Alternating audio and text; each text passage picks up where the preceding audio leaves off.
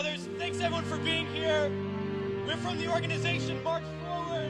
We are here to say to all those serving in the Army and the Marines and the Air Force and the Navy that you have the absolute right to refuse to take part in these criminal wars, and that's a right that all of you should exercise. You have no reason to go put your life on the line and kill and die for profit. We've been to Iraq. We've been to Afghanistan.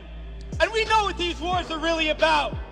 And we joined the military for many reasons. Because we need a college education, because we need a job, because we need health care.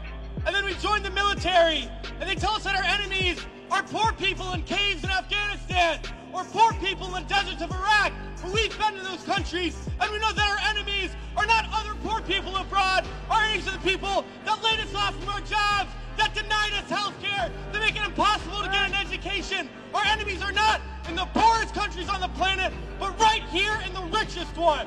The occupations of Iraq and Afghanistan alone are costing over $700 million every single day. This is a crime every single day while so many of us are hurting. Well, I think all of us here and the vast majority of people in this country would agree that we can spend $700 million a day better than bombing people we have no reason to bomb. We can spend $700 million a day rebuilding those countries we've destroyed. We can spend $700 million a day caring for the veterans we get home when they get home, and then we can spend $700 million a day giving every single person health care, a college education, a job, and a livelihood, and a home. That's who we need to be spending our money on. But this government is not going to do that. They're not going to use the money in that way. They're not going to end the wars. And they're not going to do it because it's not our government. It's their government. It's the government of the rich. It's the government of Wall Street, of the oil giants, of the defense contractors. It's their government, and the only language that they understand is shutting down business as usual. And that's what we're doing here today, and we're going to continue to do until these wars are over.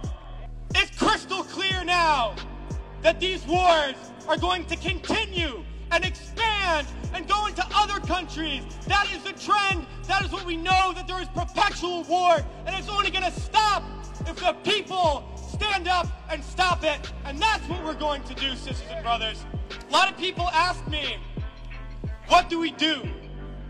Because we all know things are bad. We all see the atrocities on TV. We read about it. We experience it. People always ask, what do I do? Because we always want to know what to do. Do we vote? Do we support a politician? Uh, what, you know, do we join an organization? What do we do? Well, I'll tell you what we do. It's simple. We fight. We fight and we fight and we fight and we shut down our workplaces. We shut down our schools. We shut down the streets. We shut down business as usual. And we fight until we force the people in there to do what the people out here want. Because that's how we're going to get around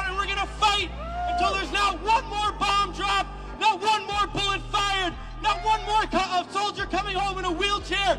Not one more family slaughtered. Not one more day of U.S. imperialism. Let's fight to make that happen. We can do it today and in the days ahead. We have to fight to end these wars and create a better world, and brothers.